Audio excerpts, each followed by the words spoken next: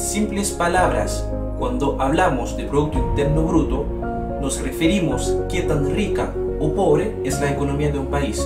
Por eso, con este famoso indicador, podemos acercarnos y determinar la calidad de los habitantes.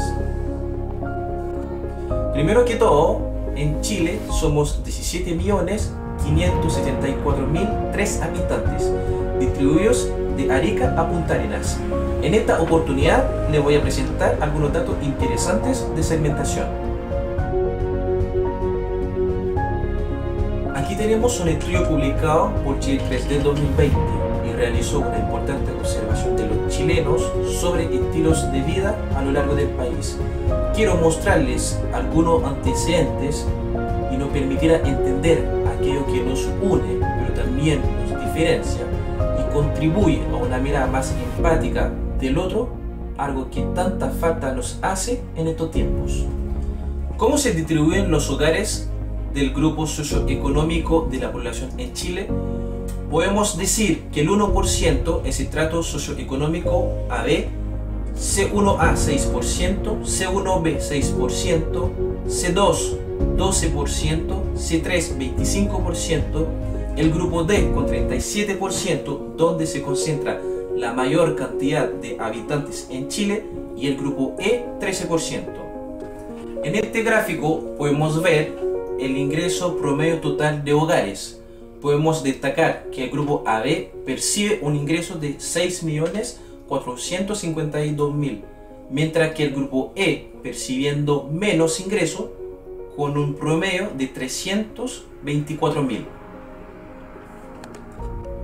En lo que implica a nivel educacional de los grupos socioeconómicos, podemos ver que los jefes de hogares con estudios universitarios corresponden mayoritariamente al grupo AB, C1A, C1B, con un 99, 95 y 71% respectivamente, y el grupo C3, donde tan solo el 4% de los jefes de hogares son profesionales, el grupo D y el grupo E con un 0.2 y 0% cada uno. En cuanto a la población actual que se encuentra con trabajo, podemos decir que el 51% son mujeres y el 49% corresponde al sexo masculino. En este caso, estamos hablando de un trabajo formal remunerado.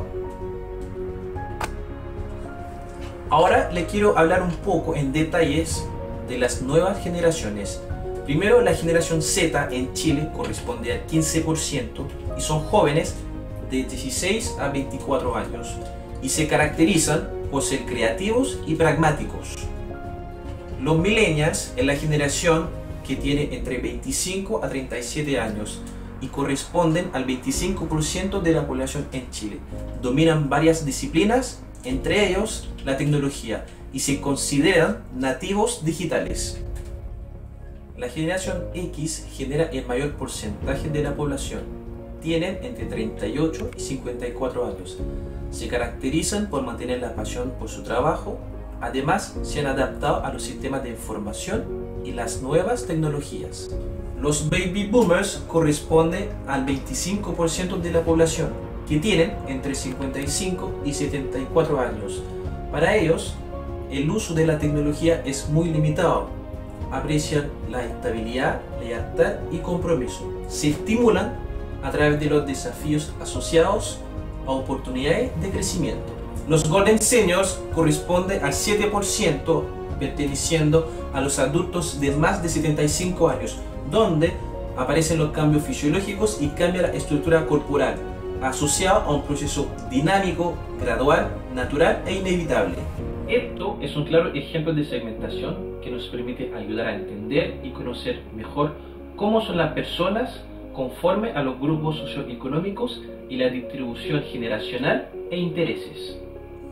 Otros datos interesantes y curiosidades que les puedo compartir a nivel habitacional en Chile, 80% vive en casa, 20% vive en departamentos, 61% tiene mascotas, 43% tiene auto en el lugar, 57% tiene sobrepeso, 79% tiene internet en el lugar y por último, 61% se declara que es feliz.